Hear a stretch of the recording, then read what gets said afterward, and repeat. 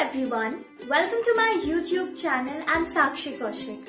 So before starting with the video, let me remind all of you to click on the subscribe button below so that you subscribe to my channel. Hit the bell icon so that you get notified as soon as I upload any new video. So in this video, I have provided all of you with the handwritten notes of D and F block that is the chapter of class 12 inorganic chemistry. So the link for these notes has been provided in the description box below.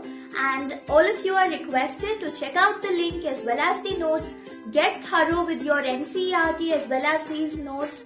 And practice the equations, the conversions and the reasoning questions that I have provided as much as possible so that you can attempt all the questions with very much ease. So check out the notes, study hard and also check out other notes of class 12 chemistry and biology and other interesting videos on my channel. Hit the uh, like button, share this video with your friends. Don't forget to subscribe to my channel and study hard. Bye-bye.